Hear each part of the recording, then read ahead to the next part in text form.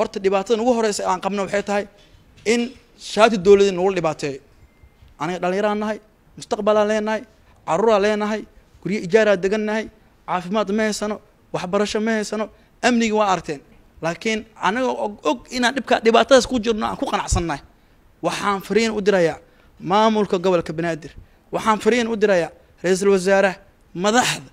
Dhallinyaraan nahay waxaan go'aansanay waddanka inaan u shaqeyno tan labaad canshuur bixiyaalaan nahay magaaladan anagaa iskale inaan ilaashano bilicdeeda amnigeeda wixii dhibaayo iyo wixii wasaq ku ah iyo wixii oo maxay dowladda lid ku ah iyo wixii maxay sheeg amnigeena dhibaateyahay inaan maamulka la walaagno annagana aan iska qabanno si aan beri u badbaadno.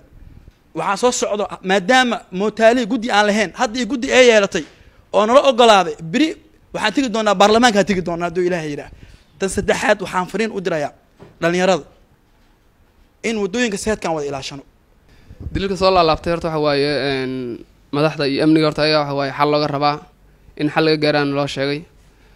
Midda labaad waxay ahayd bandowga habeenkiiya oo lix saac baalkii ku ekaay.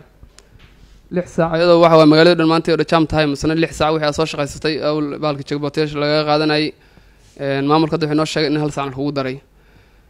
Waxaa meeshan ku matelnaa bajaajlayda gobolka banaadir oo dhan.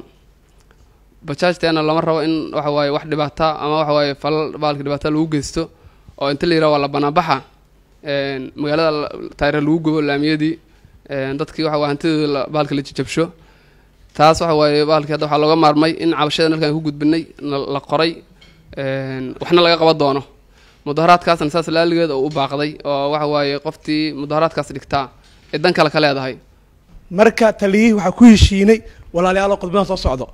Mootaale oo idil qodobada soo socda ku heshiinay oo ah in dililkan soo lalaabanayo.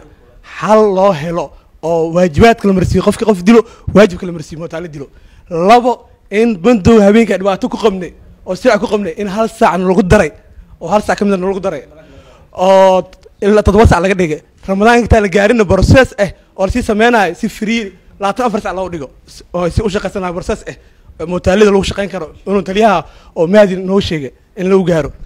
Waxaa kaloo xal kaloo sheeg kala hadalna waxay ahayd jaamamka waddooyinka noqonayaan. In trafficka waddooyinka jaamamka noqonayo sida sheeg isgoosyada qaar oo ku jirto isgoos bakaaraha baar wax waxaasoo idin in talageeyo traffic la geeyo si hata jaamka u yaraado dilka u yaraado waxaa kaloo ka hadalnay isgoosyada qaar oo lacag lagu qaato intii la xirto lacag lagu qaato ciidamada qaar lacag ku qaataan.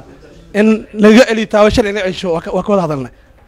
Waxaa kaloo ka wada hadalnay isheeg in la sameeyo meel lagu isheeg maamulka gobolka banaadir iyo isheeg iyo bajaajleedu ay ku wada xiriiraan ay xogta ku wada gudbiyaan oo cabashooyinka aan qabnana aan ku gudbino.